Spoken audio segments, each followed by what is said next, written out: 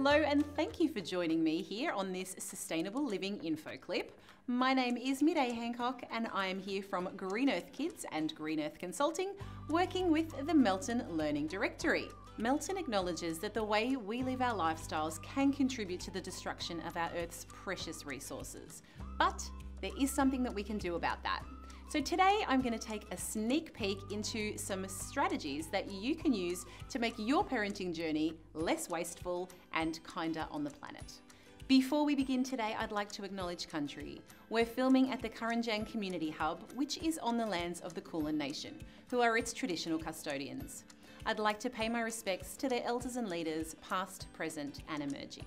So let's dive straight in. Two areas where you can reduce your waste while raising your little ones are the areas of hygiene and toileting and feeding. So let's start with hygiene and toileting. Did you know that the average baby will go through five to 7,000 nappies by the time that they are toilet trained? That is a huge amount of plastic ending up in landfill. And when you consider that each nappy takes over 500 years to break down, well, we need to find a better way. But take heart, there are some excellent alternatives to our modern disposable nappies. By far the best is reusable cloth nappies. Now I know what you're thinking, but gone are the days of those little flannel triangles that were held together by safety pins. Because these days you can buy the most gorgeous, funky little nappies and they're reusable hundreds of times. I've brought some in to show you today. They're really cool because they have either Velcro or snap buttons down the side, and so they're adjustable for ages from newborn to two year olds. They also come with different inserts, so you can either choose microfiber or cotton. Some are even made from bamboo. They're really easy to wash. You just soak them in a bucket until the solids have been loosened and then throw them into your washing machine. Now, some of us may not have a lot of time to do extra washing. So, for example, if you've got multiple children in nappies or if you work. So, another great alternative is to use compostable nappies and compostable wipes. So, I've got some here today. They're biodegradable, which is really good, made of plant-based materials, and you can buy them from most retailers, online, or sometimes even at the supermarket. If you have older kids or adults who use the toilet and not nappies, then I suggest that you look into buying some recycled toilet paper or even supporting brands that make it from bamboo. Some of these include Who Gives a Crap and Green Cane, and some are even available readily at your supermarket. When we look at hygiene beyond nappies, it's important to consider how we keep our little ones clean. So a really easy swap to make is to go from liquid hand wash in a bottle to bars of soap. If you buy soap from markets, they're often not wrapped at all, which means zero waste, and made in Australia is even better. Let's move on to food now.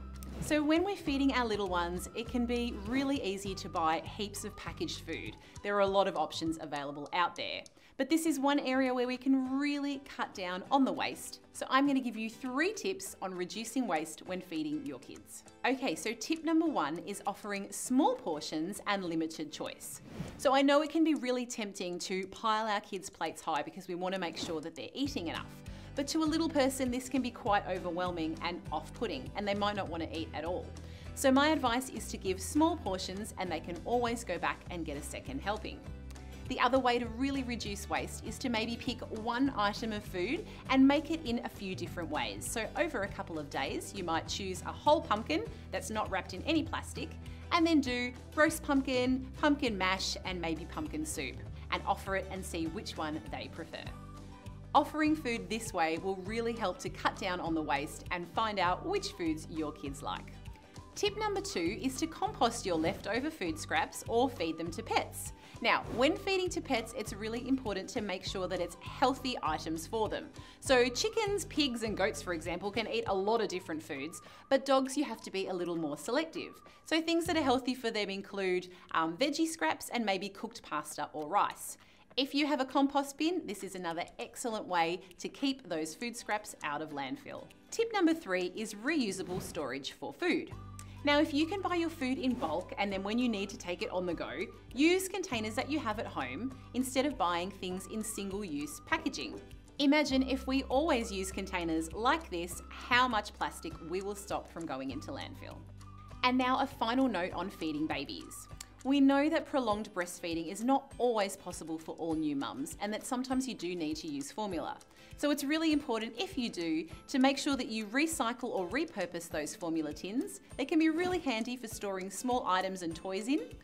If you are able to breastfeed for longer, then this is great because we will stop a lot of plastic and aluminium from going into landfill, plus reducing the air miles on transporting that formula across the country and sometimes overseas. Thanks for joining me today. I hope you got a lot out of it. But if you would like to dive a little deeper, then please join us at one of our online or face to face sustainability workshops. You can check the Melton Learning Directory for details on when these are. And don't forget that if you come to them, you'll get a chance to ask all of your sustainability questions and meet other like minded people. So thanks again for watching today, and I'll see you at a workshop soon. Stay green, Melton.